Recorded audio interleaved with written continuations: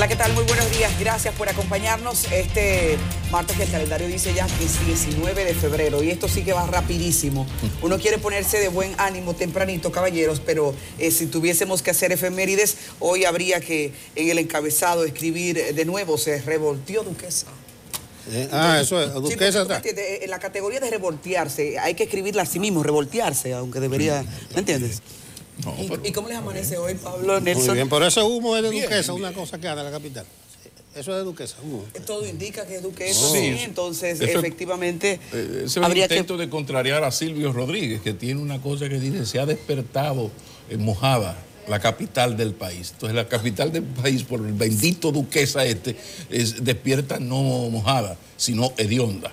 Y eso es lamentable. Ya lo solucionarán alguna vez, algún Dime día. una cosa, ¿ustedes vieron esta madrugada la superluna de nieve? Eh, eh, eh, explícate mejor. No, la superluna ah, de pero nieve. es que usted Me no quedé se- en lo último. No se meten para la astronomía. El momento en que la luna está más cerca de la Tierra, di que en América se iba a ver en la madrugada y esta noche en el resto del mundo. Yo me sorprendí y miré para el cielo ahí, pero no me iba a trasnochar buscando la superluna ¿Pero de la vio, nieve. la vio? No, no vi nada. No, pues yo, yo, yo mínimo no sé, creí fue- que, era no sé, que que me había sido tan sublime que él venía a contarnos. Pero miren, eh, compañeros, eh, hay una muy buena porque ya uno va a decir, bueno, ¿quién falta por decir lo mismo? Ahora, una vez más, la Iglesia Católica volvió a reiterarle al gobierno que está en la obligación de aplicar eh, sin demora, así mismo, sin demora y con seriedad.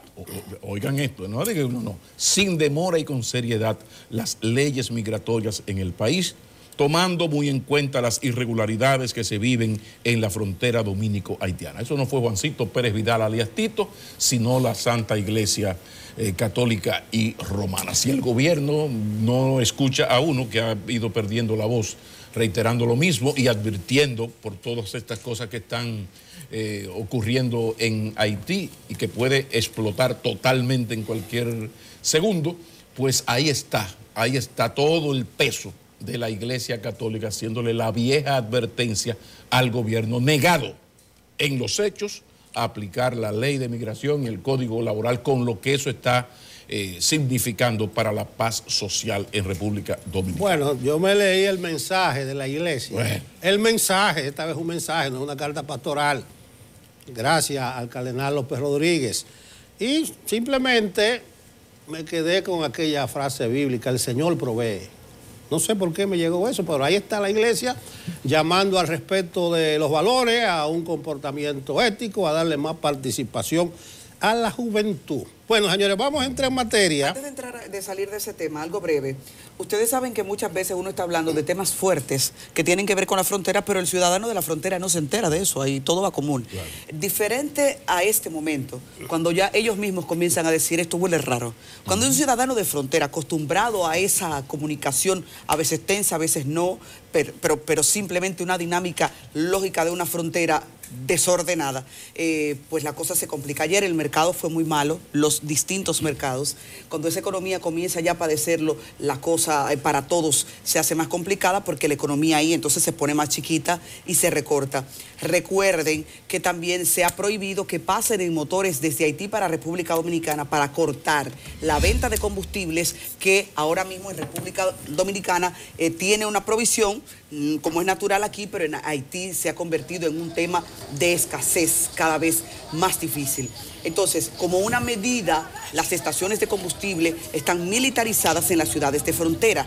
Eso es ya serio, porque recuerden que puede producirse también cualquier escenario de violento con el instinto de supervivencia de aquel lado y de quienes necesiten el combustible. Y por eso justamente la militarización. Y, lo dejo ahí porque el interés era resaltar que cuando la gente de la frontera te llama, como ha ocurrido, eh, nos han llamado varios, eh, varios representantes de sectores para decir, mira, eh, esto ya se siente complicado, ya se siente complicado. Bueno, ayer en el marco de un comentario político, yo hablaba de las figuras eh, frescas, nuevas en la política, y yo quiero presentarle un rostro nuevo, fresco en el periodismo, que está incorporado a este set y que quiero que ustedes se acostumbren a verlo. Ella es Yanesi Espinal. Buenos días, Yanesi. Oh, muy buenos días a todo el equipo caramba. De Enfoque Matinal y a toda la audiencia de este programa. eh, encantada de compartir con ustedes y de ah, formar parte de este programa. Muchísimas gracias. Tú sabes, Yanesi, que el periodismo escrito es muy injusto. Ahora es que Nelson es famoso tenía 42.7 años en el periodismo escrito. Ahora es gracias a la televisión. Y eso pasa con grandes eh, periodistas. Y también estaba pasando contigo, que eres una de las analistas políticas más destacadas y que más acierto tiene, sobre todo eh, analizando los temas de la partidocracia y te subrayo un poco el PLD. Entonces, eh, esa es, mírenla bien, hámenle un coso, esa es Yanesia Espinal, sí, la del Caribe, que también estará con nosotros. Bueno, y nosotros aplicando eh, de manera rigurosa la equidad de género, yo creo que estamos ahora en minoría si sumamos a la productora Pablo. Y si le agregamos a la directora también. Feliz minoría, profesor, eso está bien. En inmensa mayoría. bueno, a propósito de la presencia de Yanesi aquí, que nos vamos a acostumbrarlo a ver, a verla, ¿usted trajo algo, Yanesi? Sí, hay de todo. Mm. Eh, ya usted sabe que el conteo regresivo para las elecciones específicamente del 16 de febrero del próximo año inició porque ya pasó el 16 de febrero del 2019. Y a propósito de esto, han sucedido algunos acontecimientos importantes en el tema político y electoral, como fue la promulgación anoche por parte del Poder Ejecutivo de la ley que modifica la legislación 275-97 sobre el régimen electoral y ahora será la ley 1519 entonces, esa ley introduce, esa nueva ley introduce muchos cambios en el sistema electoral y específicamente altera lo que es el calendario que elaboró la Junta Central Electoral para las elecciones municipales. Así que ah, tenemos eso. También hoy la Junta Central Electoral, con el impasse que se ha generado con relación al presupuesto eh, que el dinero que le falta para las primarias tiene una reunión nuevamente con los partidos políticos en busca de un consenso que le permita identificar 1.249 millones de pesos que le falta para el montaje de las primarias del 6 de octubre. Así que este tema va a seguir poniéndose cada vez más interesante porque en la medida en que pase el tiempo, pues el tema electoral irá ocupando aún más eh, la agenda eh, nacional como debe de ser. Así que eh, es importante señalar con este tema de, de, los cambios que introduce la ley 1590, 1519 a la ley 275-97, es que, por ejemplo, la proclama hasta ahora se emitía 90 días antes de las elecciones. Resulta que ahora serán 100 días antes de las elecciones y eso altera el calendario de la Junta. Pero solamente, no es solamente que impacta una fecha específica, eso de la proclama.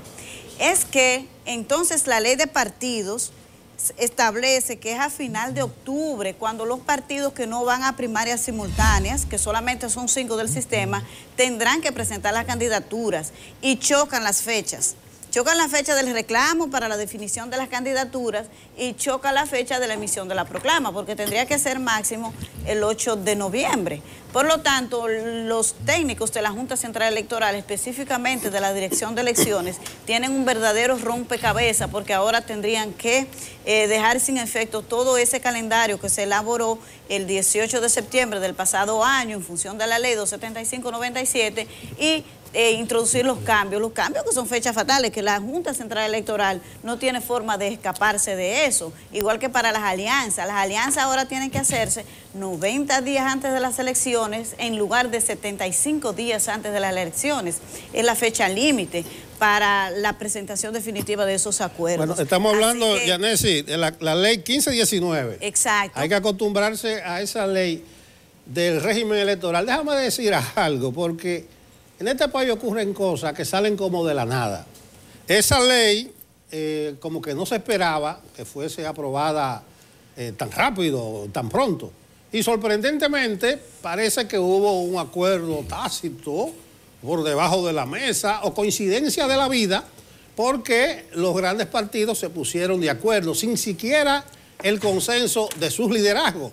Porque fíjense lo que pasa. En el Senado el senador José Ignacio Paliza, que es el presidente del PRM, objetó algunos aspectos de esa ley, especialmente aquella del voto preferencial para diputado, por lo del arrastre. El arrastre, sí. En la Cámara de Diputados, las legisladoras, por lo menos dos legisladoras del PRM, se insurreccionaron, se rebelaron, criticando la inclusión del artículo 136 sobre la equidad de género, que habla de un 40, de no menos de un 40 ni más de un 60% para hombres y mujeres de la propuesta nacional. O sea, es una variación de lo que dice la ley de, partido. Tampoco los diputados leonelistas se dieron por enterados y aprobaron esa ley. Usted dirá, hubo un acuerdo con, Danilo. No, parece que como Danilo tenía eh, un expreso interés en que eso se aprobara, los diputados leonelistas no quisieron contradecirlo. Pero ¿qué es lo que sucede? Y ahí viene lo que decíamos ayer, mirar un poquito más hacia adelante. ¿Por qué Danilo Medina está tan empeñado o estuvo tan empeñado en la ley de partido y en la ley de régimen electoral? Dice una gente, bueno, eso garantiza mucho más transparencia, mucho más diafanidad en los comicios. Entonces, ¿será que Danilo pretende reelegirse con todas las reglas del juego claras, con ley de partido, con ley electoral, o quiere dejar un régimen así de transparente, de diáfono? Yo se lo dejo como tarea porque está por verse ¿Qué es lo que quiere Danilo? Nelson, te, pareciste a Pepito. La lombriz. Terminamos en la avenida. No, es una, una, clasecita. Y hay que ser didáctico en esto, Pablo, porque ayer el presidente de la Junta hizo un almuerzo con los directores de medios y él decía, hay mucha gente que está hablando eh, sin, conocer. No, aquí hay que citar los artículos, por eso se llama el 136, y hay muchas inconsistencias en esa ley del régimen electoral incluyendo los, delitos electrónicos que lo criminaliza con pena de 10 hasta 10 años. Delito que de ofensa al honor. Eso está, por encima de la Constitución de la República y la creación del procurador este especializado, que se va a hacer, según la propia ley, con la ley orgánica del Ministerio Público, la 133.11 ¿Qué sucede? Que ahí va a tener el Procurador General de la República una intervención directa en, ese, en, ese, en ese procurador electoral. Nelson, pero es muy lamentable que se sume el presidente de la Junta Central Electoral a una práctica muy de, políticos y funcionarios. Es que cuando hay una opinión en su contra, dice, no, lo que pasa es que hay mucha ignorancia en este tema. No, no, no, no. O sea, rebata argumentos. Eh, ignorantes hay en todas partes, pero eh, cada día yo veo, escucho más eh, políticos, funcionarios que cuando se dice algo, se analiza algo y se llega a una conclusión diferente a, las conclusiones de ellos, pues saquen, sacan esto de la chistera. Si no, lo que pasa es que hay mucha ignorancia en este tema. No, pero rápidamente para que ustedes vean, por ejemplo, eh, elementos importantes, puntuales de la ley. Se aprobó una enmienda al proyecto, eh, la cual dispone que 60 días antes de los comicios presidenciales y congresuales y 40 días antes de los municipales quedará prohibida la realización de actos inaugurales de obras públicas por el gobierno central y las alcaldías. Una vieja, eh, un viejo anhelo de la oposición. Eh, también se aprobó que el gobierno central, el local y las entidades públicas descentralizadas se abstendrán de realizar programas de apoyo social o comunitario extraordinarios. Esto es maravilloso porque el partido gobernante, todos los que han sido partido gobernante, por ejemplo, ayuda social, estamos mal en Barahona, estamos ya en enero 20 puntos abajo en Barahona. Entonces yo meto el peso pesado del plan de asistencia social, comedores económicos. Esto es otro viejo eh, anhelo. Se prohíbe a un partido presentar candidatos tránsfugas si los peledeístas y los leonelistas en, especial quieren oír, oír, esto, lo pueden oír, no hay problema. Se prohíbe presentar candidatos tránsfugas al disponer que no podrán ser postulados por ningún otro partido o agrupación o alianzas, candidatos que hayan sido nominados previamente por su correspondiente organización. De eso hablamos aquí eh, hace un par de semanas. Los candidatos no podrán ser apresados, este es viejo, por lo menos ocho días antes de las elecciones, salvo flagrante eh, delito. Aquí viene el que va a llegar al Tribunal Constitucional, al Administrativo y al de la María Santísima. Y es este.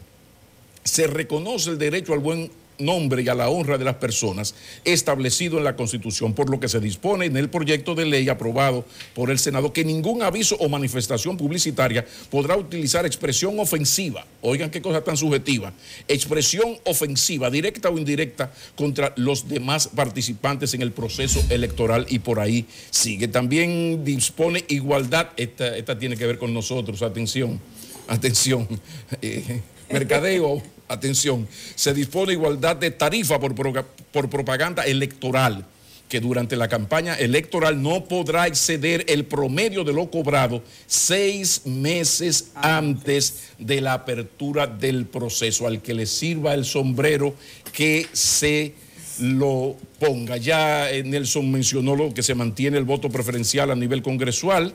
Eh, y en el nivel municipal para la elección de los regidores y de los vocales en los distritos municipales. Eh, ah, hubo otro cambio que va a ser ahora de 7 a 5, no de 6 a 4, sino de 7 de la mañana a 5 de la tarde. Y ahí está... El horario de votación. El horario de votación, gracias, Adi. Y ahí está el uno la, manzana de la discordia, que en el proyecto se aprobó la designación de un procurador especializado para la persecución de los delitos electorales. Pero el problema es que lo va a elegir el Consejo Superior del Ministerio Público, pero resulta que el ministro de Justicia es un, un subalterno del presidente que hasta puede ser candidato. Entonces, si ahí existe un Tribunal Superior Electoral, ¿por qué tú no creas en el Tribunal Superior Electoral un fiscal para que haga su trabajo independiente del Poder Ejecutivo, porque ustedes saben que en un proceso electoral el poder pasa transitoriamente a la Junta Central Electoral. Incluso las Fuerzas Armadas se ponen a disposición del presidente de la Junta Central Electoral. Pero esos son los puntos fundamentales. A partir de ahora vendrá el debate, aunque después del palo dado ni Dios, lo, Una cosa que tal vez Yanesi se ha estudiado con más detenimiento, esa ley del régimen electoral. Señor, eso es un folletón de 293 artículos. Es una cosa... 300 páginas. Que hay que dedicarle tiempo. Incluso ahora que está promulgada, yo espero que la Junta se refiera a ver si eso no le afecta a su cronograma, como dice Yanesi. Pero una cosa es que ellos han incluido el voto preferencial para regidores y para vocales y ayer nos aclaraba aquí el diputado de ASA, Víctor de ASA de Santiago, que eso implica que hay que hacer una boleta con la carita de cada regidor y de cada vocal también para que tú votes. No, eso no es complejo, porque oh, es una boleta más compleja. ¿Tú analizaste eso, Yanis? Sí, claro, eso es sumamente complejo y de hecho la Junta Central Electoral había abogado para que eso se dejara sin efecto para estas elecciones por la complejidad que implica y que desde ya se sabe que es imposible con, contabilizar el resultado de unas votaciones de esa naturaleza sin el voto automatizado, que es otro gran reto de la Junta Central Electoral. Contar todos esos eh, son mil y tanto de cargos para regidores y otra cantidad igual para suplentes de regidores y cada una de esas personas tienen que participar eh, identificados en la boleta porque ni hay voto de arrastre a nivel municipal y se mantiene el voto preferencial. Contabilizar eso es un verdadero reto para la Junta Central Electoral y todavía no se sabe a ciencia cierta si podrá aplicarse el, eh, el el conteo automatizado del resultado de las votaciones. Y si finalmente todo el proceso de votación se hará automático desde eh, la propia votación hasta el, conteo en las actas, hasta la transmisión del resultado. Hasta ahora lo único automático ha sido la transmisión de los resultados, lo otro ha sido manual. Entonces, en las pasadas elecciones se intentó establecer un sistema de ese tipo y ya ustedes saben lo que ocurrió y ahora el eh, la Junta ha hecho una propuesta de automatización de esas elecciones municipales que para aplicarla durante las primarias, en las que participarán cinco partidos. El PRM la ha aprobado para las primarias, pero ha observado que eso no implica que comprometa eh, su apoyo al voto municipal eh, automatizado. Por lo tanto, eso no se ha definido, aunque la Junta ha avanzado bastante. Aquí mismo vinieron y hicieron una prueba de su propuesta de automatización del voto eh, municipal pero todavía no es definitivo y sabemos que los partidos políticos, la dirigencia de los partidos políticos aquí no ha madurado todavía lo suficiente como para eh, apoyar ciertas medidas que muchas veces lo que tratan es de buscar la de excusa para justificar derrotas y situaciones, entonces tienen, necesitan buscar un culpable y eso siempre afecta el montaje de las elecciones. Esa es la cultura del no perder de parte de nuestra clase política. Pero tú me dejas, un, dato, al margen, Pablo. ¿Marginice? Sí, sí, del financiamiento. Sí. Porque hay una situación que me llamó la atención y lo uno con lo que decía al principio del interés de Palacio a que se apruebe la ley de partido y a que se apruebe la ley de régimen electoral. El presidente de la Junta Central Electoral insistió un poco ayer en el capítulo de la publicidad y de la propaganda y promoción que tiene que hacer eh, la Junta Central Electoral. Incluso muchos comunicados y avisos legales con plazo, para los cuales dice dispone o debe disponer de 15 millones eh, que no tiene. A mí no me gustó que frente a los directores de medios eh, el presidente insistiera tanto en este capítulo de la publicidad no quiero aquí aparentar como una comadre chismosa, pero eh, insistió mucho en eso. Pero ¿a dónde voy yo?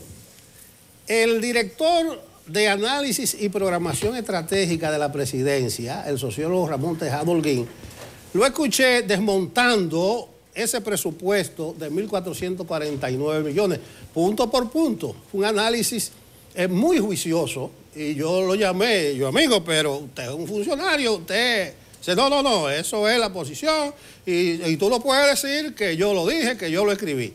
Entonces, ¿qué dice él? Pero eh, ahí escribió el funcionario o el sociólogo.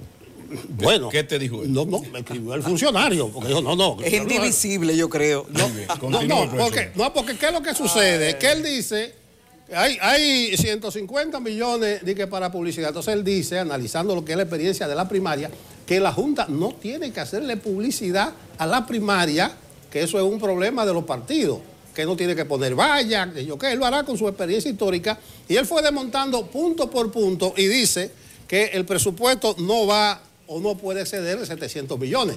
Entonces yo le digo, si eso lo dice un funcionario de altura, que se supone despacha con el presidente eh, eh, de la República, yo no sé dónde va a parar ese diálogo que decía el presidente de la Junta Central Electoral ayer, que va a incentivar para que el gobierno eh, eh, ese cante porque parece que desde el gobierno, y ya Monchi decía que el PLD va a asumir eh, esos costos desde el gobierno, y lo dijo el ministro de Hacienda, y lo dijo José Ramón Peralta, no están por darle dinero a la Junta. Entonces yo digo, ¿y entonces? Pero es a Danilo Medina, presidente o presidente y candidato, al que más le interesa y por eso las prisas, ir a un proceso electoral con reglas de juego claras. Es decir, ya hay ley de partidos políticos, ya hay ley de Junta Central de Ley Electoral.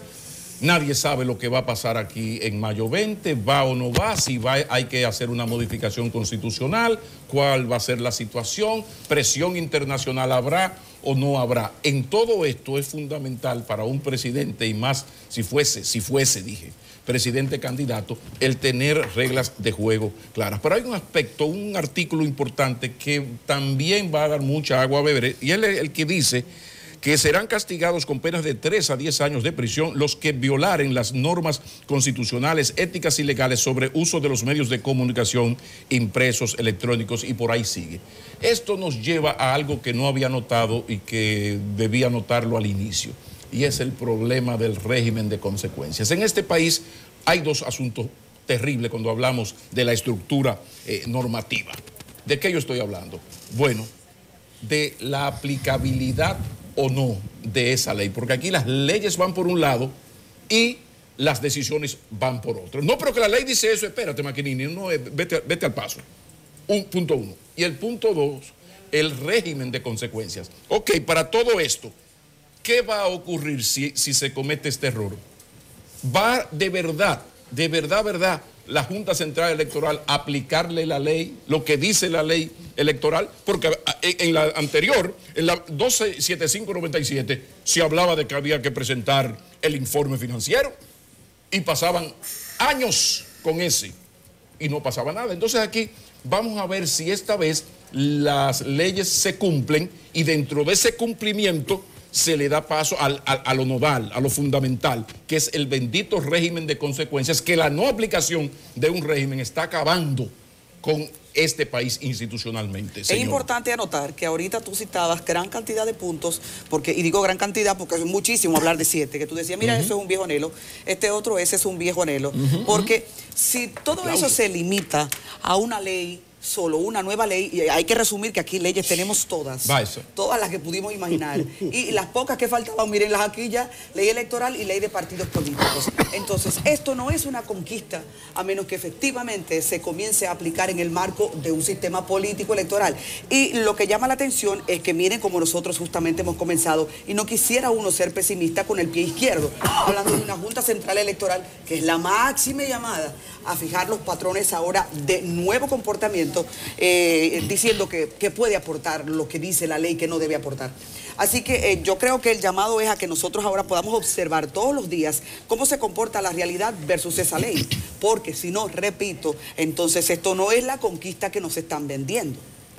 Bueno, no sé si hay algo por ahí que no sea de la Junta, porque yo lo que tengo es que venció el plazo el sábado para la entrega de documentación para reconocimiento de partidos, agrupaciones y movimientos y se inscribieron siete partidos y 24 movimientos. ¿Qué son los movimientos? Aquí lo aclaramos una vez, por eso se llama ley de partidos, agrupaciones y movimientos. Los partidos pueden eh, tener candidatura a nivel nacional, los, las agrupaciones a nivel local, puede ser el provincial o municipal, y los movimientos solo a nivel municipal y de los distritos municipales. A mí me satisfizo mucho de esos 24 movimientos, que hay muchos locales de San Pedro, de San Francisco, de muchas partes del país, y eso puede ser que un incentivo a que participe la, la comunidad. Pero me llama también poderosamente la atención que podamos nosotros agregarle a la nómina siete partidos más. La Junta tiene hasta cuatro meses antes de las elecciones de febrero, o sea, hasta octubre, para decidir sobre estas solicitudes, pero me choca algo. La pre-campaña comienza el 7 de julio y es muy probable que la mayoría de estos partidos y de estos movimientos no estén reconocidos hasta la fecha porque el proceso es complejo de validación de, de documentos, de celebración de asamblea. Pregunto, ¿podrán entonces esos partidos y movimientos en trámite participar con todas las de la ley en la pre-campaña, porque la ley electoral es específica, que eso es solo para partidos, agrupaciones y movimientos reconocidos. Lo dejo como tarea y gran tarea que tendrá la Junta para embrujarse con estos 31 expedientes. Hay otro elemento importante con relación al tema de la, de la nueva ley de partidos de la ley de partido y la, y la nueva ley electoral, y es que entran en contradicción en lo relativo a si los partidos de nuevo reconocimiento, a propósito de lo que se comentaba, de 31 nuevas organizaciones que han solicitado personería jurídica en la Junta Central Electoral, es que la ley electoral permite la alianza de los partidos nuevos y la ley de partidos la prohíbe. Por lo tanto, hay una contradicción que la Junta tendrá que enfrentarse porque seguro que muchos de esos partidos nuevos van a optar por hacer alianza y ya vimos el caso de Opción Democrática que incluso quería hacerlo desde las primarias. Eh, eso es un punto importante que de seguro va a generar conflicto. Eso que ha dicho Yaresi está muy importante y el valor de todo eso es que en la medida en que se acercan las elecciones, el ciudadano común que no sabe cómo se hace política y que, por ejemplo, tipo lo que vimos recientemente de la Marcha Verde, ¿y qué es lo que hay que hacer para que yo incida en este país que no me gusta cómo va? Entonces ahí va la gente y reacciona y se da cuenta, ah, no, mentira, yo no puedo, hay que agachar la, cabecita, porque dice, dice esta ley que no, que no se puede. Y, es, un, tema que eh, desfavorece la inclusión, porque relativamente es una palabra que deberíamos comenzar a aprender en esta sociedad, la inclusión de nuevos grupos en la participación política, porque eh, eso es. Pero jóvenes, jóvenes y los menos jóvenes, ya está bueno de política, porque no mm. solamente de política Detenga, detente ahí, animal feroz. Detente ahí, porque hasta ahora estamos hablando de cosas que tienen que ver muy mucho con la marcha de la democracia dominicana. De eso es que estamos hablando. Y eso, y eso, es un aporte a la democracia. Esos partidos que aprueban una ley tras batidores que nadie sabe cuál fue el acuerdo. Yo creo que ahí no hay transparencia ni hay democracia y por eso he dicho, he escrito, he hablado de que no merece que se le dé un chele de los dineros del contribuyente. Pero de lo que estamos hablando hasta ahora es de la marcha de la democracia, bien o mal. Ese ha sido el tema, de la, pero de la democracia dominicana. Entonces, hablemos de la democracia con mayúscula con, y subrayada, de la democracia en el continente. Hay una frase maldita, no hay otra expresión. El señor, el inefable Donald Trump, presidente de los Estados Unidos, entre muchas cosas, dijo una frase ayer en Miami que es bueno destacar porque tiene muchas lecturas, ¿no? Cito, buscamos una transición pacífica, hablando de Venezuela, pero todas las opciones siguen sobre la mesa. Ustedes están escuchando lo que...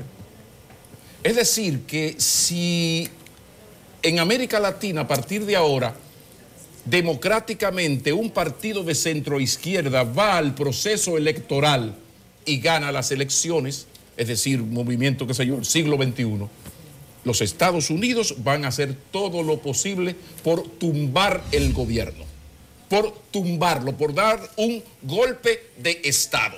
Entonces, si a las fuerzas democráticas de centro, centro izquierda, que no son súbditos de los norteamericanos y tienen contradicciones con los norteamericanos, tú desde ya le dices, participa en el proceso electoral. Ahora, si ganas, te parto en dos, yo el imperialismo yankee. Hay que recordar que todo lo que está pasando en Venezuela, de 25 elecciones, el chavismo ganó 23. Una cosa es las irregularidades de eh, las elecciones pasadas y habría que ver si esas irregularidades pues cambian el sentido final, el resultado final. Pero esa es otra discusión. Lo que yo quiero traer aquí es esta declaración pública, porque la CIA hace su trabajo. Y aquí todo el mundo recuerda al nefasto Kissinger y el trabajo que hizo la CIA para derrocar al primer, al primer gobierno socialista que apostó a la lucha democrática, a la lucha electoral y como no era súbdito de los norteamericanos, lo tumbaron y por ahí siguen. Pero señores, este, pero el gobierno de los Estados Unidos, su socio más amado es China, Arabia Saudí e Israel. Espérate, espérate, sea, o sea, tú eres socio de China, tu querido hermano. Incluso eh, parte de la estabilidad de la economía norteamericana depende de las inversiones chinas, para no hablar de Arabia Saudí. Pero señores, eh, miren, Rafael Leonidas Trujillo Molina y su dictadura era un niño de seno al lado de la monarquía absolutista saudí. Pero los Estados Unidos apoyan esto. Y ahora, por ejemplo, lo que decíamos ayer, ah, pues hay que llevar ayuda humanitaria. La ayuda humanitaria es el primer paso de una intervención militar. Pero señores, pero aquí hay un, el país más pobre de América se está muriendo de hambre, ingobernable, ahí no hay gobierno. Incluso el gobierno que hay ahí, esa misma OEA eh, preocupada por la democracia, fue la que le dio visto bueno al triunfo del señor Moïse, que ganó, pero creo que fue el 15% de, que, vota, que votó el 15%, una, un absurdo que lo podemos explicar eh, en otro momento. Entonces yo lo que quiero es dejar establecido aquí el peligro que es para la vida democrática si el destino de las urnas, si no favorecen al Departamento de Estado, es romperlas. Es decir, yo voy en la lucha electoral, pero si mañana el PLD lo hace mal, el PRM lo hace mal y Juan Ubieres tiene la fuerza revolucionaria, el diablo y su hermano van a un proceso electoral, electoral y voto a voto, el pueblo dominicano le da el triunfo, eso significa que usted va a venir de otro país a dar un golpe de Estado. Entonces es bueno que se deje esto claro porque dice el pueblo dominicano, que el que no se puede apiar se jondea. O sea, si tú a mí no me das salidas democráticas, ¿qué camino tú me estás eh, dejando? Por eso a veces cuando hay luchas violentas que uno personalmente no comparte y critica, hay que ir a la historia de qué polvos vienen estos lodos, porque los norteamericanos no saben jugar a la democracia si esa democracia no les favorece. Y el destino de las urnas, si favorecen a un partido, a una ideología que no es compartida, no es súbdita de los norteamericanos, ha sido tradicionalmente, sencillamente romperlas, porque estamos en un proceso de judicialización de la política y lograr en los tribunales y en las asambleas nacionales de los países lo que no se logra en las urnas. Y eso es sumamente peligroso para la paz del continente porque nosotros no estamos aislados y en el caso de Venezuela tampoco está sola en el mundo, ahí está Irán, ahí está Rusia, ahí está China y hay otros países. Y nada, nada es más importante que la bendita paz. Lo dejo de ese tamaño. Señores, eh, para terminar este bloque, vamos a saludar nuevamente, a presentarles a ustedes a Yanesi Espinal. Estuvo con nosotros en la primera parte de los comentarios. Yanesi es parte del equipo multimedia de CDN porque ya es el rostro no visto del periódico El Caribe en la parte política. Yanesi, muchísimas gracias por estar con nosotros. la verán más a menudo. sí, sí, sí, que nos va a acompañar frecuentemente porque hay que sacarle provecho a la niña. Así es, señores, y hoy hemos dedicado mucho tiempo al tema de la ley electoral porque sin dudas eh, la democracia se construye a veces dándose muchos cabezazos. Yo no aporto eh, en esto el criterio de que ha sido una gran ganancia porque es una ley no inclusiva. Se supone que la política en estos momentos busca que que seamos sociedades inclusivas, eh, no, no la veo así. Ustedes ya lo han explicado más que claro. Pero señores, claro está también de que eh, aduanas en los últimos días se ha visto muy en la boca el pueblo. Y, qué pena porque uno nada más habla de aduanas cuando hay líos. Bueno, vamos a darle la oportunidad al señor director general de aduanas eh, a que nos explique cómo está aduanas, qué ha pasado en aduanas en su administración, cuáles son los principales problemas, los proyectos y por supuesto no se va a salvar de que le preguntemos sobre el arancel a los celulares. Así es, Enrique Ramírez Paniagua, director de aduanas. En el próximo bloque está con nosotros, así que no se mueva porque seguro que a usted le toca un pedazo de esta torta en Enfoque Matinal.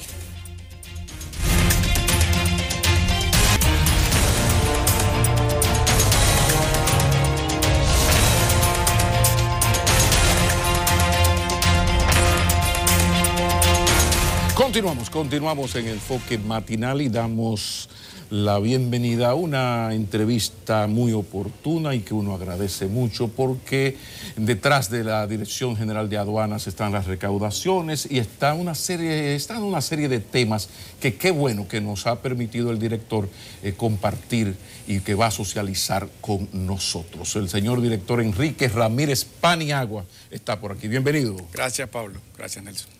Bien, vamos, vamos a entrar en materia y vamos con las recaudaciones.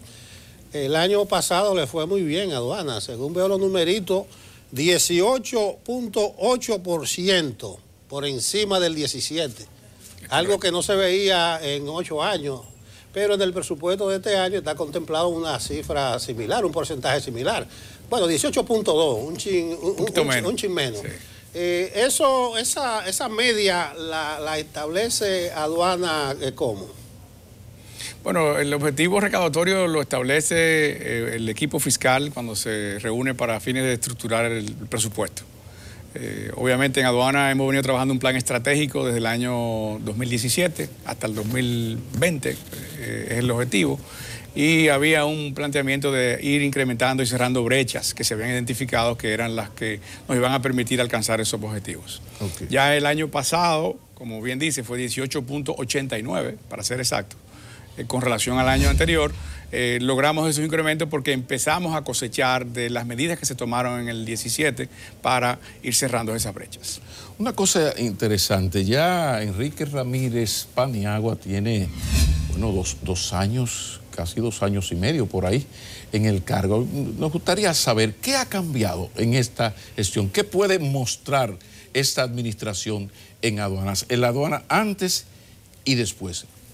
Ya yo sé que está el guararé maravilloso del aumento de las recaudaciones, cosa que eh, aplausos, pero hablemos de, de, otras acciones que se hayan tomado. excelente pregunta, porque nos da la oportunidad de poder expresar un poco el trabajo real que se ha estado haciendo en aduana. Eh, solamente las personas ven recaudaciones, cuando el rol de una aduana no es solo recaudar. Aduana tiene un rol que va mucho más allá de ese. Eh, y de hecho, en el, plan estratégico que mencionaba anteriormente, el, recaudar no es el objetivo principal. Hay otros objetivos, que son cumplir con el rol que le corresponde a la aduana de ser el custodio de los tratados, de los acuerdos internacionales comerciales. Eh, de velar porque no ingrese al país de manera irregular ningún tipo de mercancía, eh, de asegurar las fronteras y entiéndase como frontera todo lo que son puertos, aeropuertos eh, y que tiene contacto con el exterior. ¿Y qué se ha hecho en ese sentido? entonces, ¿qué se ha hecho? se puede mostrar? hemos invertido recursos importantes en tecnología, hemos mejorado los sistemas de aduana. Eh, hemos dotado al personal de equipamiento, de entrenamiento, eh, hemos logrado incorporar figuras de aduanas modernas en términos de facilitación. hoy en día retirar la única, lo, de la ventana única, ¿cómo está Ventanilla única de comercio exterior. es ¿Cómo está eso? Eh, muy bien. ¿Mm? ya en este momento hay 35 eh, entidades del Estado incorporadas a la ventanilla única de manera formal eh, y seguimos agregando servicios. Más de 100 servicios se están dando a través de la ventanilla única. Consiste que en el pasado un importador o un exportador eh, tenía que ir a varios sitios a buscar un permiso. En este caso entra esa ventanilla y desde ahí todas las entidades que está funcionando. Eso no es relaciones públicas, no, no, no, prensa, eso está funcionando. Busquemos los testimonios de los usuarios. servicios que te tomaban 72 horas, hasta más, Ahora se toman cinco o seis horas y está resuelto. Eh, de manera que sí está funcionando y eso es parte del el rol que se le, eh, se le delegó a la aduana en el momento en que se firmó el acuerdo de libre comercio, el DERECAFTA. La aduana era la responsable de, tener una ventanilla única de comercio exterior en funcionamiento. ¿Qué más hemos hecho? preguntaba. Por ejemplo, eh, se ha extendido el horario de, despacho en las aduanas hasta las 10 de la noche.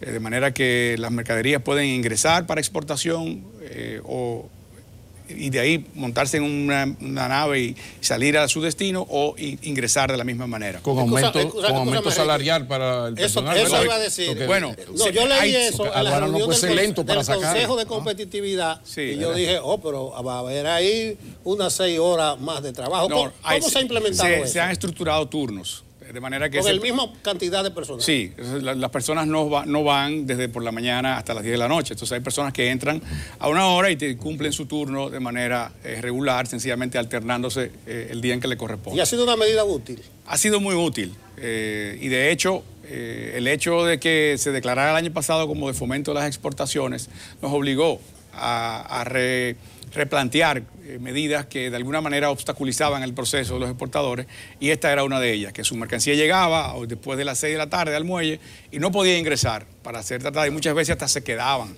y no podían ser montadas en el barco que iban al destino del mercado. Hay un tema que está, número uno, en la agenda temática institucional del país y este es este asunto del gravamen a los celulares. Se ha hablado mucho.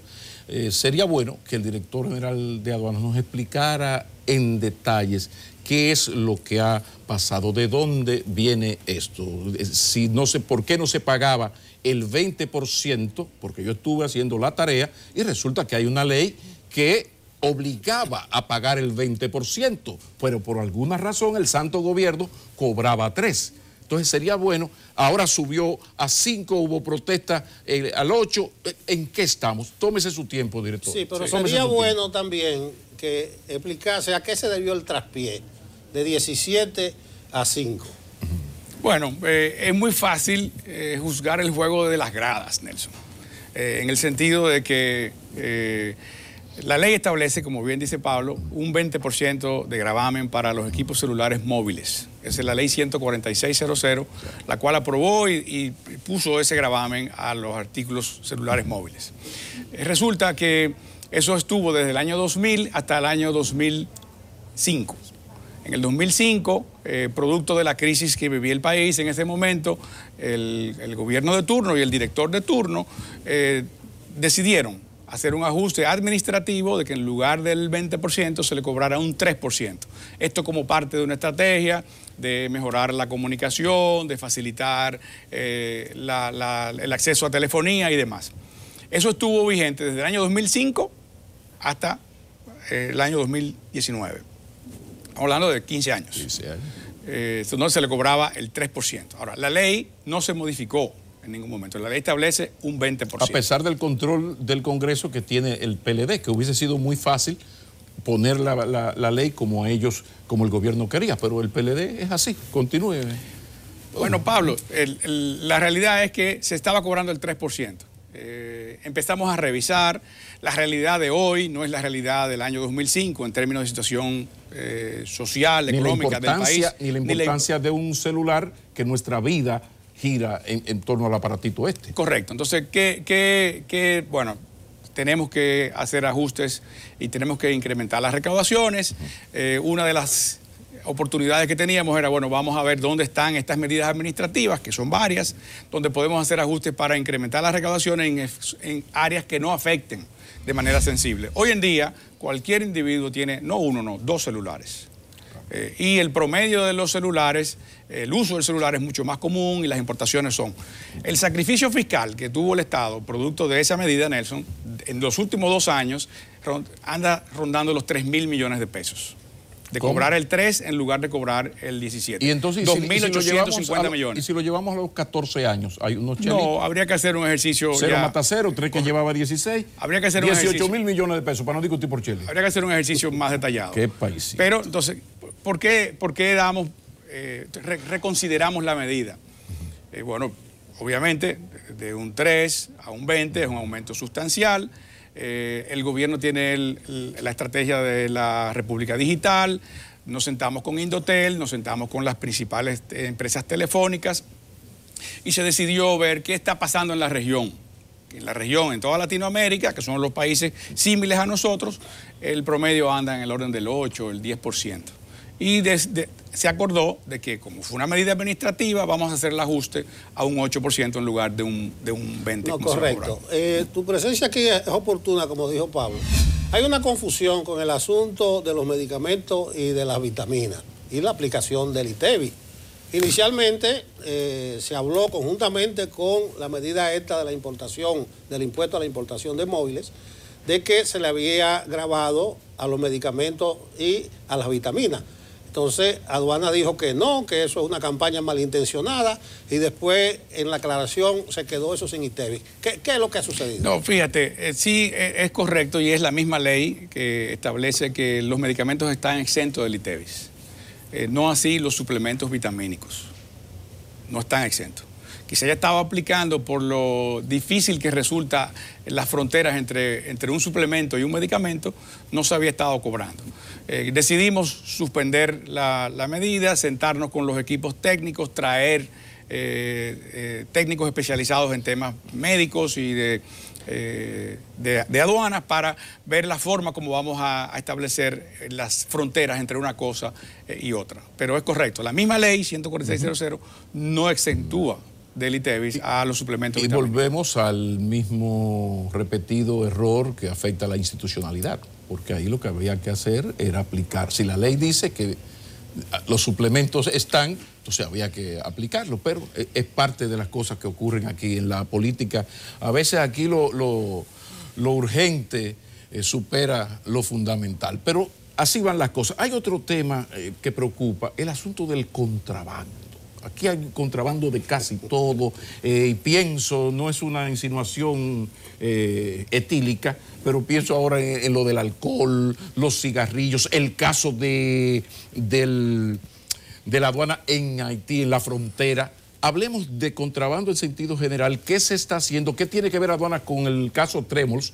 Y si hay más aduanas en, en la frontera, porque sé que está la de, la de Dajabón. Hablemos de contrabando, por favor. Bien. Esa es la lucha diaria de todas las aduanas del mundo, no solo de la aduana eh, dominicana. Claro. La realidad es que en estos 30 meses hemos tenido avances significativos en la lucha contra los ilícitos en términos generales. El caso específico de los cigarrillos, llevamos cerca de 300 millones de unidades de cigarrillos incautadas y destruidas.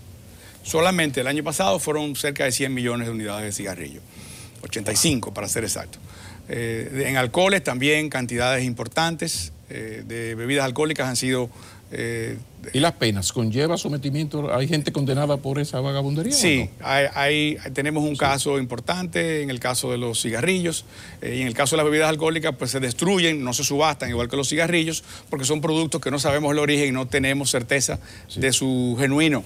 ¿Pero qué hace aduana si me, ag- me agarra a mí un contrabando de, de whisky? Yo vengo en mi camión, hey, usted no tiene eso. Fí- ¿Qué me fí- pasa, fíjate, Maquinini? Maquinini S.A. Bueno, si Maquini S.A. es el responsable, evidentemente vamos a ir tras él y lo vamos a someter a la justicia. Ahora, ¿qué pasa?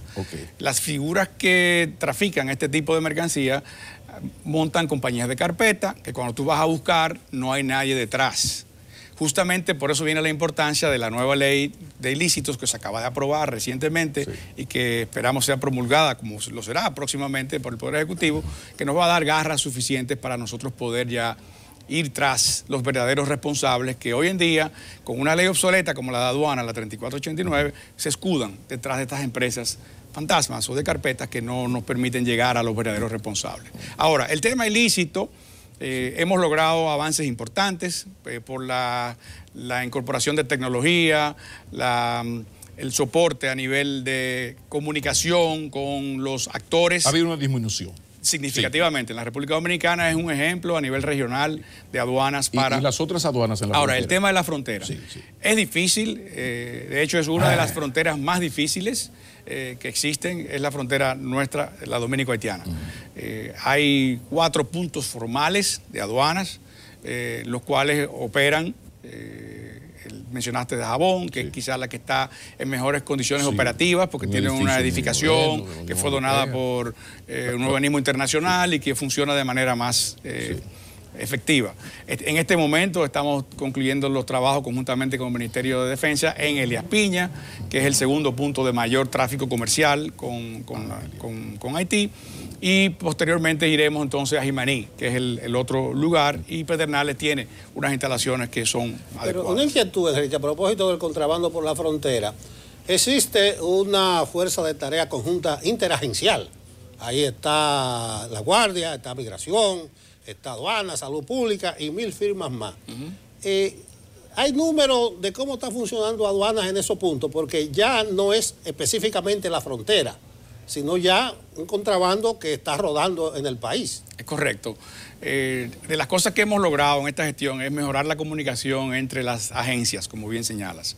Eh, hay una comunicación efectiva, hay equipos de trabajo integrados por todas las agencias. De hecho, hay eh, varios puntos del país eh, claves eh, que han sido eh, seleccionados justamente porque se da el cruce de esa mercancía donde estamos todos juntos, eh, que es el caso de los pilones en el sur, en el cruce del 15 de Asua eh, y también en el, en el norte eh, tenemos puntos similares, dos puntos. Ok, director, no, no, bueno, hay otro tema eh, que es el de las subvaluaciones, que a mí me gustaría, pero antes yo conozco bastante bien el tema de Dirección General de Impuestos Internos en, el, en la Liga Latinoamericana. Nosotros en América Latina estamos muy, muy bien eh, valorados. eh, nuestra en- en- entidad tributaria, que es el DGI. ¿Cómo está valorada en América Latina? Porque yo sé que DGI está adelante, adelante, adelante, pero la, dirección de aduanas, ¿cómo está valorada eh, a nivel latinoamericano? Más o menos. La, la aduana dominicana ha venido en un proceso de posicionamiento regional por los avances que se han logrado. De hecho, la aduana dominicana es la que representa a las aduanas de toda América en la Organización Mundial de Aduanas, en la OMA.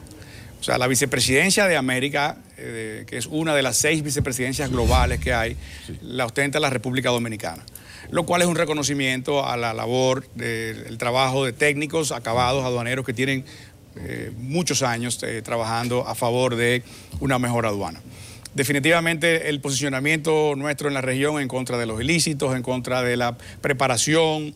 eh, hay técnicos dominicanos muy acabados que tienen posiciones importantes a nivel regional eh, y que encabezan comités eh, como el de sistema armonizado, que es el que decide el tema de los códigos arancelarios que se van a utilizar en los productos y demás, eh, el- la parte de fiscalización, la parte de operador económico autorizado, donde son técnicos dominicanos los que liderean estos comités, lo cual evidentemente evidencia que la aduana dominicana está muy bien posicionada en términos Y, y regionales. el modelo dominicano ha sido utilizado o consultado por otros países? Sí, Eh, sí, hay eh, países en la región y de hecho parte del éxito de la lucha contra el ilícito es la buena comunicación con las aduanas. O sea, porque yo puedo controlar las aduanas de, un punto, pero si no tenemos comunicación con las aduanas de donde vienen esos productos o donde van los productos nuestros, evidentemente tenemos una debilidad. Porque no se puede dejar echar guararé de Magín, ¿no? O sea, la eh, eh, aduana tiene, que, tiene que ir eh, por ahí, porque Magín, aquello de Juan Hernández fue una cosa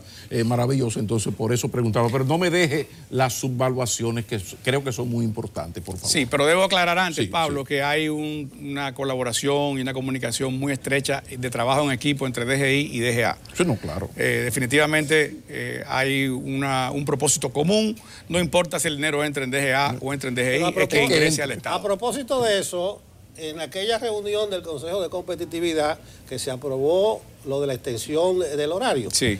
Una de las conclusiones fue implementar siete acciones y dice que estarían listas en abril, no la memorizo las siete, pero que involucra a aduana, la DGI y Hacienda.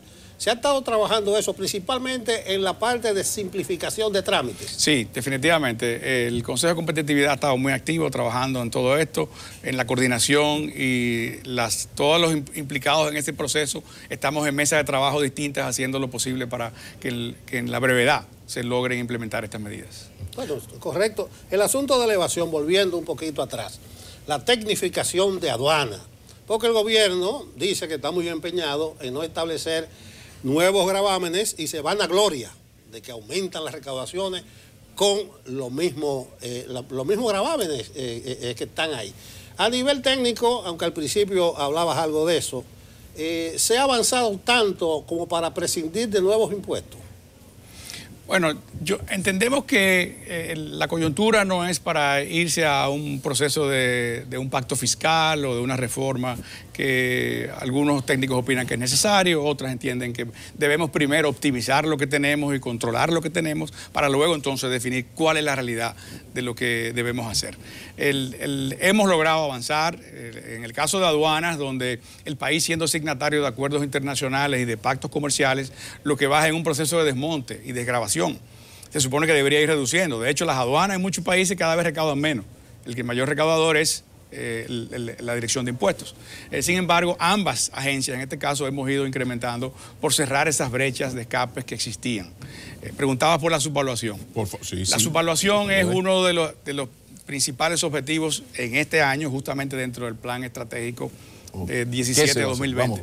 Hemos logrado mejorar las bases de datos de información de los sistemas de aduana, la hemos cerrado eh, para controlarla de una manera más efectiva, de manera que los artículos que entren al país entren con la clasificación que corresponden y con el pago del impuesto que corresponde. No queremos que nadie pague más, pero que pague lo que corresponde. Pero eso incluye a los vehículos, porque hay muchas quejas. El otro día se, estaban quejando de los, de, los aranceles. ¿Cómo, ¿Cómo está eso? Lo de traer un vehículo, ¿eso se, ha mejorado? Sí, hay, mejoría. De hecho, el, el volumen de importación de vehículos el año pasado aumentó.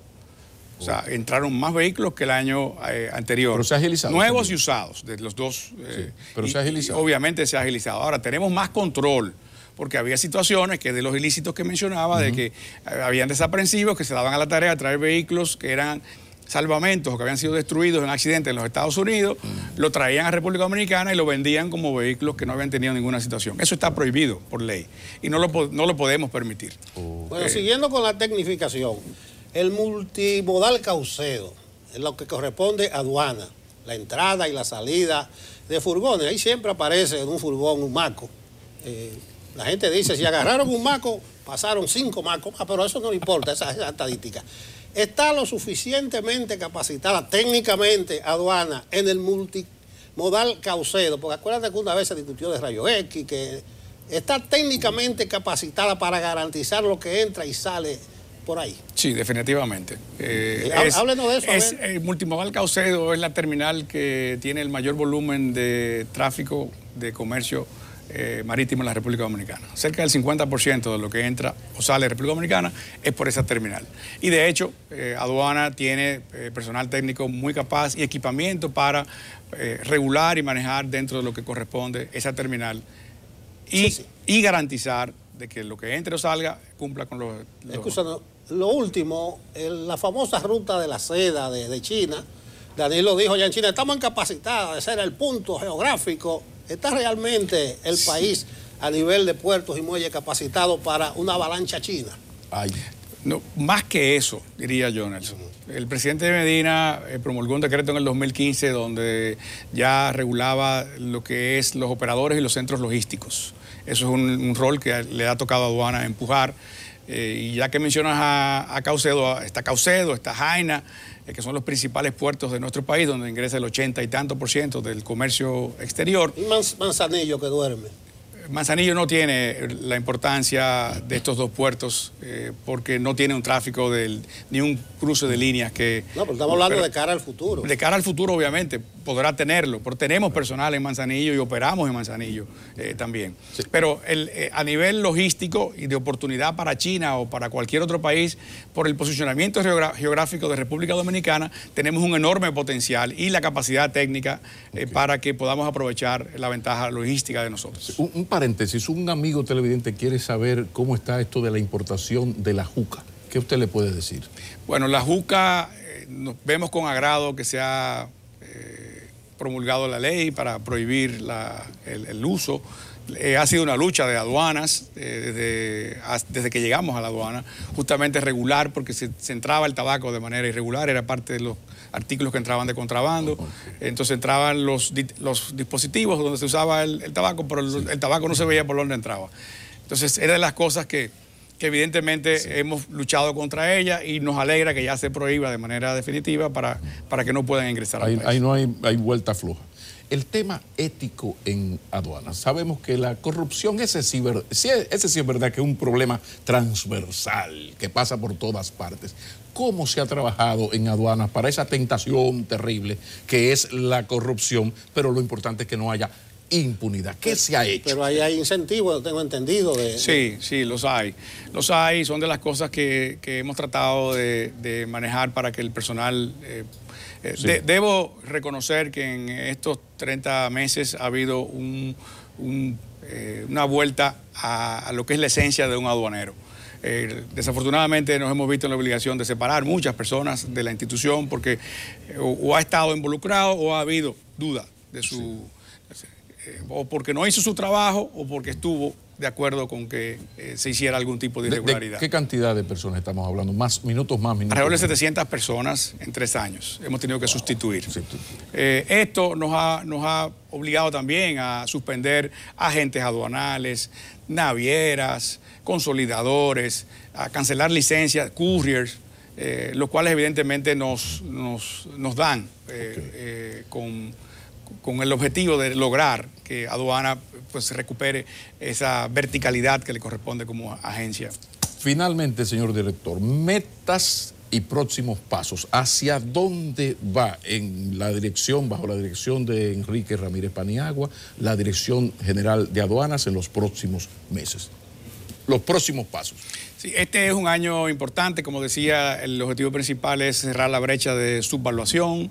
Eh, ya hemos empezado por los sectores o los, eh, los rubros de mayor nivel de contribución, como es alcoholes, electrodomésticos, eh, y así vamos a ir hasta tener toda la base de datos debidamente organizada.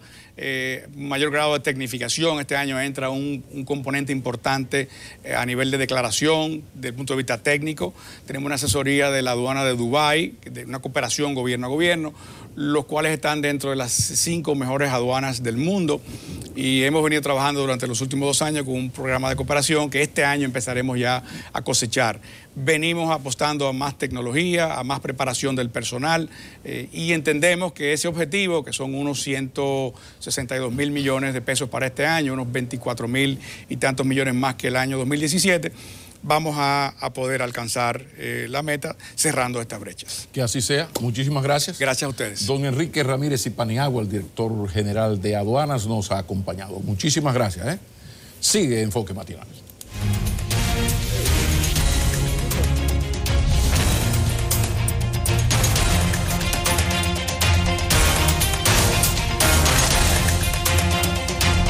Gracias por continuar con nosotros en Enfoque Matinal. ¿Cuáles son las noticias para hoy, rojas, amarillas o la verde? En el semáforo del día de inmediato les decimos. ¿Y cuál es la roja?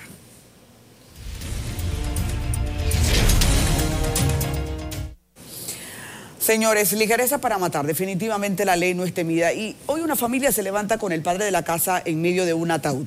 La muerte violenta en la sociedad que sea, cuando se cualquieriza, es un evento frustrante que empobrece la visión de convivencia, de legalidad y de desarrollo. Como respuesta nos hacemos más violentos, tratando de resolver por nosotros mismos eso que el Estado está permitiendo llegue a la calidad de guerra perdida porque no interviene de manera contundente con mensajes de choque para la intolerancia y la delincuencia.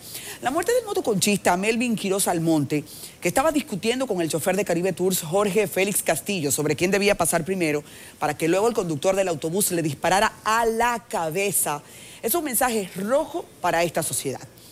¿Qué hace que una sociedad gradualmente asuma la intolerancia como un medio de respuesta intuitivo? O sea, que te sale porque sí. Eso no tiene otra respuesta que cuando la ley no es temida. En una sociedad en la que la ley no es temida, el caos es familiar. Y hablando de familiar, las matemáticas sociales nos dicen que tenemos cientos y cientos de muertos por esta misma razón. En el primer trimestre del año pasado hablamos de más de 600 muertos de manera violenta. Así, así, así han sido lloradas por sus familias cientos de, cientos de personas. No se pudieron despedir, no completaron sus proyectos de vida, gente buena o menos buena, bueno buena, a la que había simplemente que respetarle la vida.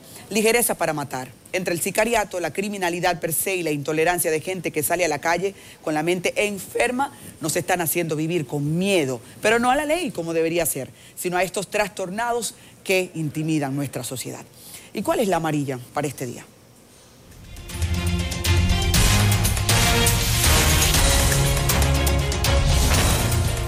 El presidente ha promulgado la ley orgánica del régimen electoral, leyes tenemos, lo que falta eh, es que lo haga cumplir, que lo hagan cumplir todas las instancias.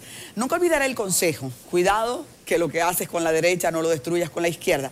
Y lo digo porque ha sido una conquista ponerse de acuerdo para la ley electoral, pero si como instrumento no será respetado, no representa ningún avance para el orden político electoral que hace falta en la casa. A solo horas podría mencionar tres aspectos que de manera desafiante ya comienzan a ser burlados. Primero, el financiamiento de las primarias, una discusión todavía abierta que fue enfocada con vocación a la violación de la ley desde el principio.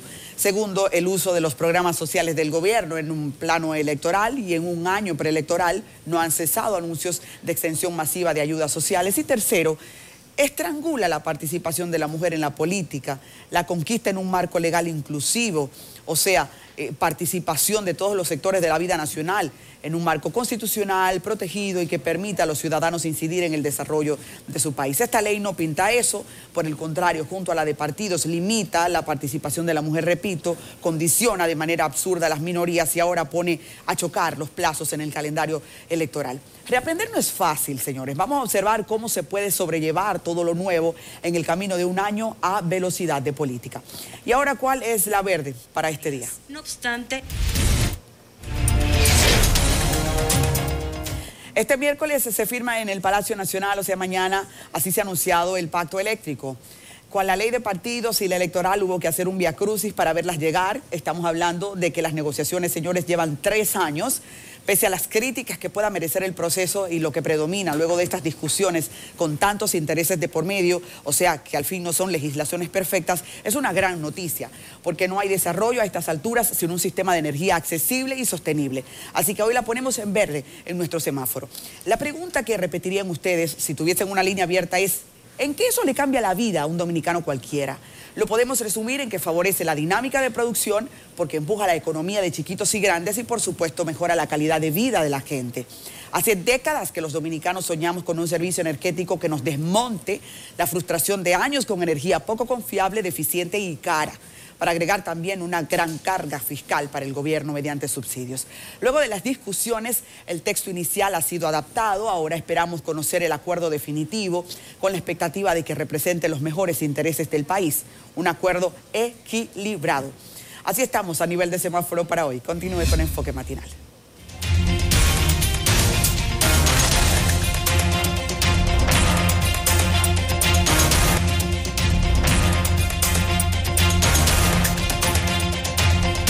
Gracias por continuar con nosotros en Enfoque Matinal. Señores, la realidad de un país es que cuando se crece también se tienen desafíos. Sí, entonces los desafíos se derivan en problemas. Así que República Dominicana está creciendo de manera urbana y está creciendo también a nivel eh, de la economía. Así lo pintan los macronúmeros. Agárrese el bolsillo que si usted lo tiene vacío tampoco se asombre. De eso podremos hablar después. Pero ahora vamos a hablar de movilidad. Esa movilidad urbana que deriva en un problema en el día a día cuando todavía no está resuelta, el proceso que vivimos. Y para eso hemos invitado a una persona que más calidades no podría tener. Es el ingeniero Robert Agosta. Nos lo hemos robado desde Argentina. Ex decano de la Facultad de Ingeniería de la Universidad. Enfócame al ingeniero, ya basta para mí. Eh, también es, eh, decía ex decano de la Universidad Católica de Argentina, lo que sería el homólogo de la Universidad Católica Madre y Maestra en República Dominicana. Eh, querido Robert, gracias por estar con nosotros. Buenos días. Buenos días. ¿Qué, ¿Qué, tal República Dominicana? Cuando de repente un hombre que está acostumbrado a estudiar la movilidad a nivel de ingeniería llega a esta capital, ¿qué ve? ¿Qué lee? Bueno, lo que, un poco lo que vos decías, este, República Dominicana es un fenómeno notable en el sentido de que hace 30 años que crece al 6 y pico por ciento anual acumulativo. Esto no es frecuente en los países y esta consistencia no es frecuente. Ahora, esto tiene una parte, digamos, esto tiene muchísimas cosas buenas y algunas complicadas, como por ejemplo lo que ustedes ven acá todos los días, lo que he visto yo cuando vine para acá hoy, este, que es la congestión extraordinaria de tránsito. La congestión es un fenómeno que se debe por un lado, al crecimiento del parque automotor, es decir, todos los países cuando crecen su, cuando aumentan su nivel, su poder adquisitivo, eh, aumentan la cantidad de vehículos y el uso de los vehículos, ¿no es cierto? Y, debe ser, digamos, siendo un problema, debe ser resuelto o debe ser atacado, digamos, ¿no? Eh, ese es un poco el panorama que uno ve, particularmente en Santo Domingo. A pesar de que Santo Domingo hizo inversiones muy interesantes y muy importantes, por ejemplo, en el metro, que es un sistema, bueno, del, realmente modelo. ¿no? El metro de Santo Domingo es realmente un sistema modelo en el sentido de que, de que digamos, está construido con criterios eh, técnicos de, muy buen nivel. ¿no? Eh, bueno, ese es, ese es, un poco el panorama que uno ve en, San, en, básicamente en Santo Domingo. El, el, ingeniero Agosta, para que ustedes entiendan, es presidente de la empresa ACID. Ya. ACIA, que es una, una, empresa de asesoría de ingeniería. De ingeniería. Y, y, en este proceso ha visto crecer muchas capitales, ha visto crecer muchas ciudades y pueden entonces hacer eh, juicios muy críticos. Cuando nosotros vemos esta capital, a veces cuestionamos de si el crecimiento va eh, justamente de manera eh, orientada eh, correctamente al, al, ciudadano. Cuando hablamos de crecimiento estamos hablando de la movilidad tanto de los vehículos como de la gente, la movilidad del transporte inclusive aéreo, toda esa interpretación junta. ¿Qué tan frustrante puede ser para ser adaptada, para ser inclusiva? Mira, eh, el, el, problema de la congestión... Disculpa, ¿y qué tiempo le puede tomar a una sociedad encajar, adaptarse, para pasar de ese subdesarrollo a una, a una sociedad que intenta ser desarrollada a nivel de la movilidad? Ok. El problema de la congestión o el problema de la movilidad tiene un poco tres, como tres grandes avenidas por donde resolverlo, digamos. No tiene una solución única, sino que tiene tres grandes... Eh, áreas o avenidas. Primero, el problema urbano, el problema de cómo la ciudad se desarrolla, porque la movilidad es producto de cómo se desarrolló la ciudad. Digamos, ¿no es cierto? Entonces, el primer aspecto es ese. En ese sentido, Santo Domingo ha tenido una historia de una ciudad de muy baja densidad, ¿no es cierto? La baja densidad es eh, digamos, perjudicial para la movilidad. Requiere mucho más costo de movilidad en la ciudad. Entonces, un la baja densidad, o sea, poca población. Tener poca densidad de población. Es okay. decir, que las actividades están muy dispersas, entonces eso hace difícil la movilidad masiva, digamos. Entonces, el primer aspecto es ese, generar una ciudad más vivible, una ciudad, más, digamos, eh, más eficiente desde el punto de vista de la, de, de la estructura urbana. El segundo aspecto es el desarrollo de los sistemas de transporte público, de transporte colectivo, como por ejemplo el metro en el caso de Santo Domingo. Pero Santo Domingo tiene muchas cosas más para hacer, por ejemplo, carriles exclusivos este, para ómnibus, un desarrollo de un sistema de, ómnibus este, más desarrollado, más formal, más eficiente, etc. Y el tercer aspecto es sobre el automóvil, o sea, sobre las vías de circulación, el, el, el, controlar, por ejemplo, el estacionamiento, el controlar el funcionamiento, etc. Entonces son como tres, tres grandes áreas en las que deberíamos actuar. Una de más largo plazo, que es la estructura urbana, una de más mediano plazo, que son las, las inversiones en, transporte urbano, en transporte masivo, y una de más corto plazo, que es la ingeniería de tránsito. Vos me preguntabas esto, ¿cuánto tiempo toma? Bueno, lo más fácil son las inversiones. Las inversiones son un problema de plata digamos, nada más. Es un problema de tener plata o de conseguirla, digamos. Se va a tomar lo que, la, lo que la sociedad esté dispuesta a invertir. Por un lado, pero lo más difícil es el cambio de los hábitos, digamos, ¿no es cierto? Es decir, yo siempre pienso, es más fácil que un argentino conduzca bien en Alemania que que un alemán conduzca bien en Argentina, porque es un problema, claro, es un problema de reglas, de, hábitos, ¿no es cierto? Entonces, eh, lo más difícil, por supuesto, son los cambios institucionales, los cambios de comportamiento, ¿no es cierto? Toman más tiempo, requieren una, requieren una, digamos, una, una convicción de parte de las autoridades para ponerlo en funcionamiento, etcétera, que es más difícil. Pero, digamos, pero todo se puede solucionar y creo que Dominicana tiene todo lo, todo lo, que, todo lo que hace falta y, el clima de crecimiento y de estabilidad es algo súper positivo en este sentido. ¿no? Y eh, preguntamos, por ejemplo, el tema del transporte público, que aquí sigue siendo un gran problema porque hay muchas guaguas dando un servicio que no es del gobierno, sino un transporte colectivo privado. ¿Cómo debería eso, según su recomendación, evolucionar a otro nivel? Yo trabajé en Dominicana a principios de los 90, así hace mucho tiempo, o sea, chiquitita. Este, eh, este, no te puedo explicar lo que era Santo Domingo en esa época. O sea, ahora es una maravilla en ese aspecto respecto de lo que era hace 30 años atrás. Este, ahora, ¿hay mucho por hacer? Sí, hay mucho por hacer. Esencialmente, regular, reglamentar y ordenar el sistema. Digamos, ¿no es cierto? Ahora, esto no es una tarea, yo no estoy diciendo que esto sea fácil, es mucho más fácil decirlo que hacerlo y hay que llevarlo a cabo con el tiempo, pero yo estoy seguro que es un, digamos, uno ve que es una sociedad que tiene que poder encarar estos cambios y tiene que poder... Y esto hay que acompañarlo con medidas, por ejemplo, de infraestructura. Este, por ejemplo, carriles exclusivos para agilizar el transporte público. Este es un, algo que ha funcionado muy bien, ha funcionado muy bien en Brasil, ha funcionado muy bien en Colombia, ha funcionado muy bien en Argentina, ha funcionado muy bien en muchísimos países del mundo, este, que son medidas de, inversiones moderadas, digamos, alcanzables, este, y que mejoran muchísimo la performance del sistema. Recientemente hemos visto a las autoridades que aquí en las siglas del Intran eh, representan el dominio de las políticas de movilidad. Hay un tema no hay inclusión de sectores que son minorías, discapacitados, los esfuerzos son muy pobres todavía.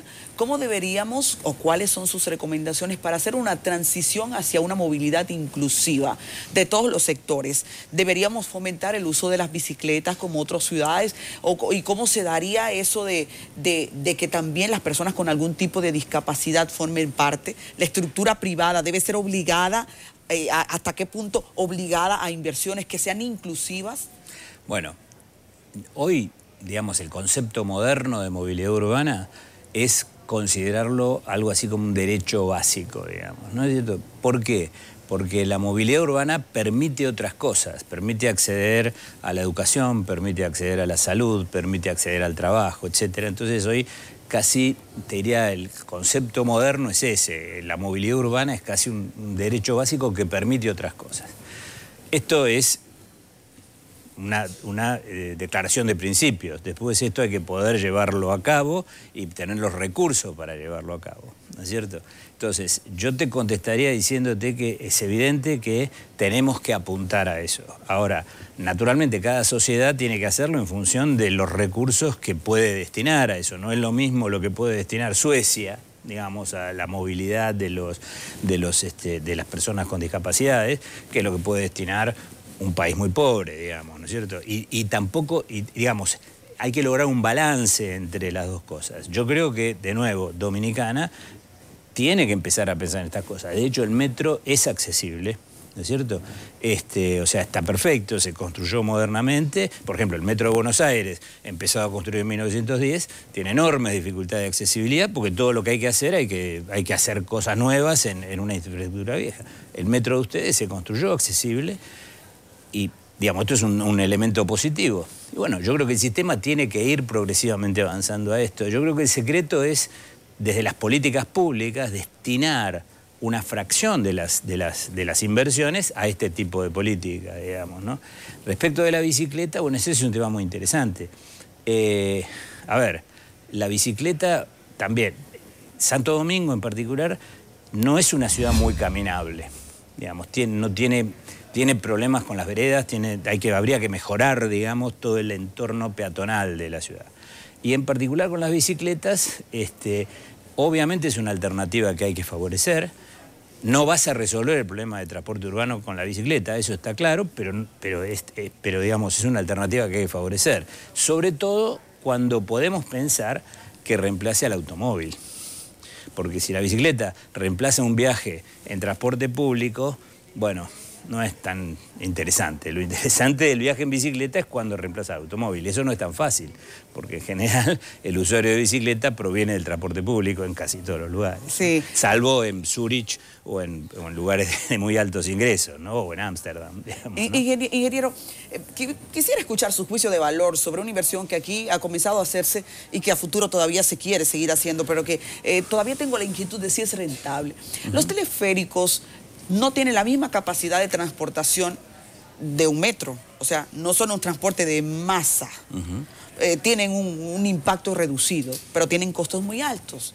Aquí han comenzado a hacerse teleféricos, ya tenemos uno que es muy bonito, pero el impacto que puede hacerse, eh, eh, la inversión versus ese impacto, ¿es, es inteligente? Mira, me han hablado mucho de teleférico de acá. No lo vi. Digamos, llegué ayer, así que no lo fui a ver.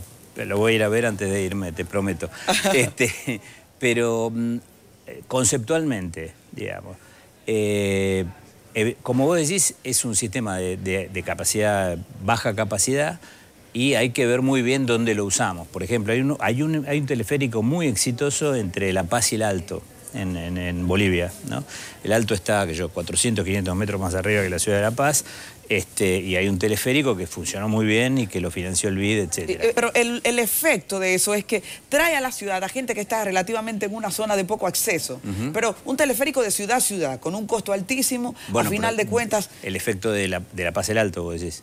No, no, no, el de Ah, aquí, el de el, aquí. nuestro. Es decir, no estamos hablando de que la gente Sí, viene sí, de una sí, montaña, la gente no viene de una zona alta, con un, con un eh, eh, eh, acceso limitado a la ciudad. Entonces, como costos muy altos en función. Debería tal vez verlo de- para de poder hacer un- juicio. de todas formas, seguramente el costo es mucho más bajo que el del metro, que tiene una Ah, no, obra claro. mucho más. Por Ah, eso, pero es que por eso, no se ah, compara. por eso te digo, digamos, el secreto en términos, en, cuando uno habla de políticas de transporte urbano transporte masivo, es que cada, cada tecnología de transporte tiene que ocupar el lugar donde es más eficiente. Este es el esquema. Entonces, si yo tengo un corredor de muy alta capacidad, de largas distancias, tengo que usar un modo de transporte de alta velocidad y alta capacidad.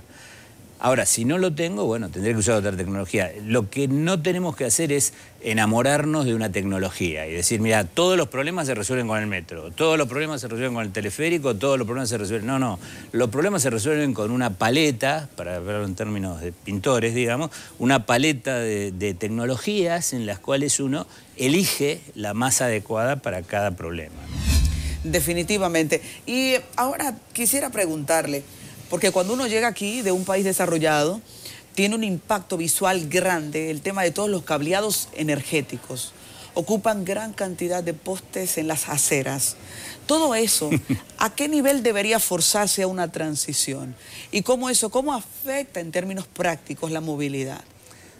Bueno, no, no, no, no sé cómo contestarte. A ver, el tema del, del cableado acá con el tema de los huracanes y demás tiene su, además su componente de... Y la cantidad de postes en las sí, aceras. Sí, sí. Bueno, no es fácil esa transición. Hay ciudades, incluso en los Estados Unidos, que todavía, país súper desarrollado, digamos, que todavía tienen ese problema, ¿no?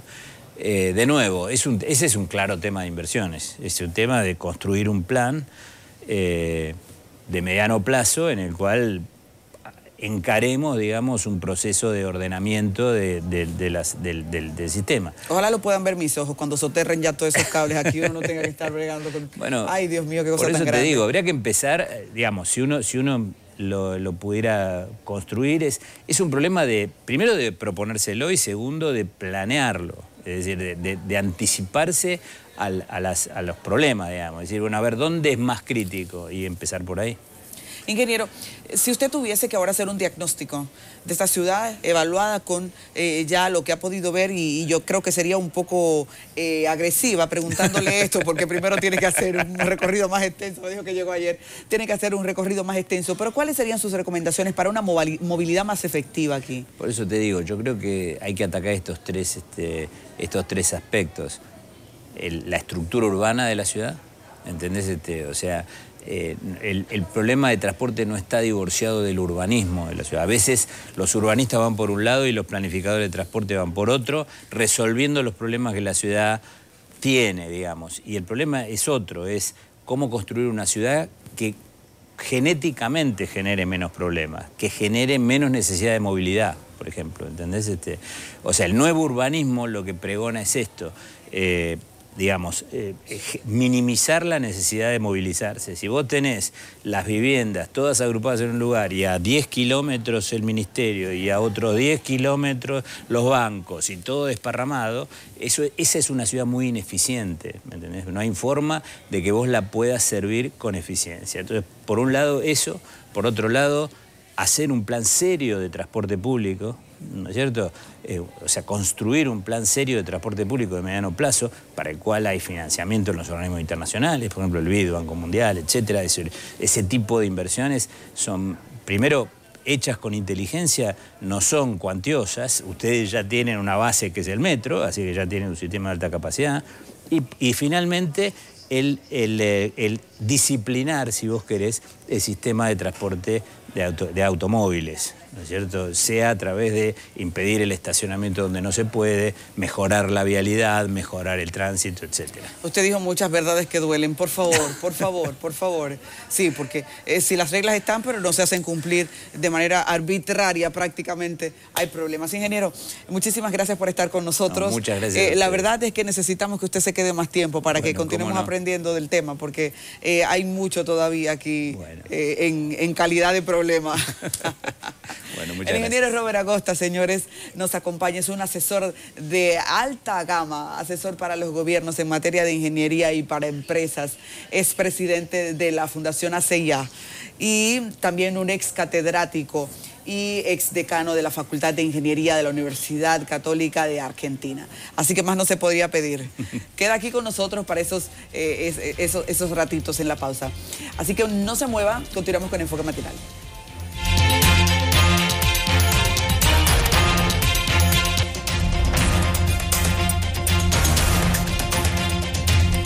Uno se pregunta siempre si las redes arden.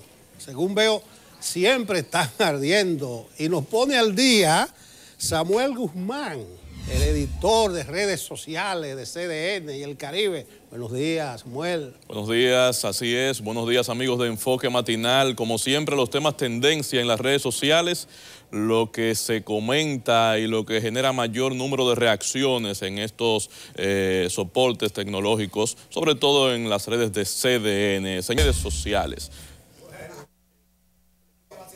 Que ese, ese preso hizo lo que sabe hacer. ¿Cuántas cosas se ven, Samuel, en las redes sociales? Por su popularidad, yo diría, y las que faltan. Así Las gracias Samuel Guzmán por actualizarnos con lo que es tendencia en las redes sociales. Señores, parece que se acabó. No, yo todavía me estoy riendo porque qué ironía. Entonces, de repente, el preso ya deja de ser tan malo porque abre un carro sin llave. Ahora se convirtió en el héroe. Ay, Dios mío. Cuántas cosas. No, él, sigue cumpliendo su pena y sigue siendo preso. Pero te reitero, esas son sus habilidades. Claro, eh, puesta a una causa justa. una causa justa. Ay, señores. Que finalmente, finalmente, sería, será bueno saber la, la, reacción en acciones que tendrá la Cancillería de la República y todo el equipo de seguridad nacional, las instituciones, con esta alerta 2 del Consulado de los Estados Unidos eh, hacia los norteamericanos que nos visitan. Esto es sumamente grave, lo hablábamos eh, ayer eh, de manera extensa. Ahora solamente lo que queremos al finalizar el programa, hacer la advertencia que eh, ante los problemas no es negar lo evidente, porque el asunto de inseguridad ciudadana en Dominicana es una cosa que la padecemos todos los días. Entonces, ante esa acción del Consulado de Estados Unidos, ¿qué se va a hacer para mejorar?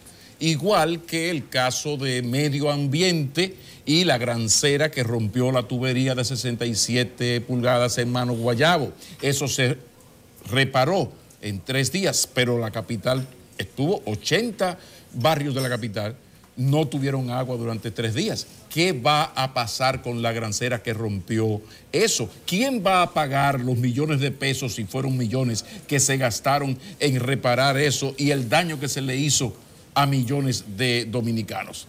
Entonces aquí hay que pasar de las palabras a las acciones. El Vámonos, señores. Ayer dijo que eso no era así, lo de la delincuencia. Yo pienso que la negación no puedes eh, negar lo evidente. No es honesta, eh, no es honesta. Quisiéramos ver esas acciones que tú, que tú dices. lo lógico es tú decir, nosotros tenemos un problema, pero estamos trabajando y vamos a hacer esto. Además, recuerden que el año pasado hubo tantos casos de homicidios y eh, ahora hubo tantos por ciento. Por ejemplo, entre el 2000, entre el 2000 11 y el 2018 hubo una disminución de más de un 40% en homicidios. Ese es un dato objetivo que puede servir para tu discurso. Ahora, el problema es que donde estamos jodidos no es solo con los homicidios, sino con el raterismo, el, tipo que te roba eh, la cartera, el celular. Entonces, no es negarlo, señor gobierno, sino tomar acciones, porque de que estamos mal, estamos mal. Bueno, yo no daría caso al Departamento de Estado. esos, son, unos documentos que ellos sacan cada cierto tiempo, que lo actualizan, así como hacen las certificaciones. Además, si estamos en nivel 2 de alerta y son 4, estamos bien con un 50%. No, pero un, país que vive del turismo no, puede eh, Nelson, esa ligereza. Nelson, cuando tú vas a un país, cuando tú vas a un país, tú buscas información y el Departamento de Estado no es cualquier cosa. Y esto no es que hicieron una evaluación, no, no, no, esto es fruto de lo que nos está ocurriendo, que aquí no hay un dominicano, aquí en CDN, búscalo, aquí no hay un dominicano que no haya sido víctima del raterismo, de la delincuencia, él o su entorno familiar. Hagan el ejercicio en su familia. Sí, pero donde yo voy es que son certificaciones periódicas, que no son ninguna medición. No es advertencia, hermano. Claro, claro, claro. No son claro, claro que hay problemas de inseguridad en este país. Pero fíjense alerta. Bueno, eh, yo acabamos. Pienso, yo pienso que eso tiene, para finalizar, una lectura importante también de que en los países desarrollados donde la gente viaja por cultura, planificando sus vacaciones, se toma el tiempo de ver qué hay a dónde va a viajar. Señores, vivimos del turismo. Gracias por de donde, de donde viene más gente de Estados Unidos al país. Además, el argumento que se utilizó no puede ser más flojo, pero aquí vienen 6 millones de turistas. Entonces, si vienen 6 millones de turistas, deducción final, no hay problema de seguridad. Así no podemos. Hay que dar la cara a los problemas y buscarle solución. Y el de la inseguridad todavía no se vislumbra la esperanza de una posible. Ok, pero en el caso de Estados Unidos es una postalita repetida. Bye bye. Gracias por estar con nosotros.